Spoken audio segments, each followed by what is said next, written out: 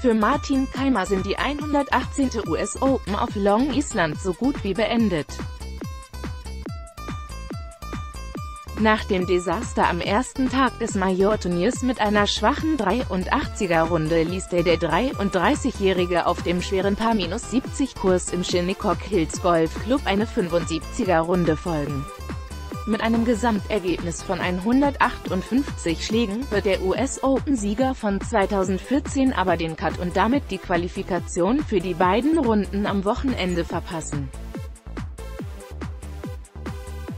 Von den 156 Spielern waren zu dem Zeitpunkt noch die Hälfte auf dem Platz unterwegs.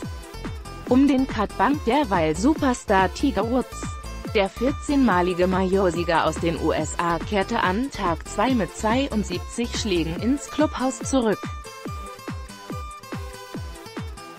Doch mit insgesamt 150 Schlägen muss der 42-Jährige nun auf Fehler der Konkurrenz hoffen. Ich bin nicht glücklich mit meinem Spiel, sagte er, ich liege 10 über Park, darüber kann man sich nicht freuen. Ich habe die Putz nicht gemacht. Vor allem die wichtigen habe ich verpasst, mit denen man das Momentum erhalten kann. Der Weltranglistenerste Dustin Johnson aus den USA setzte dagegen seine beeindruckende Vorstellung auf Long Island fort.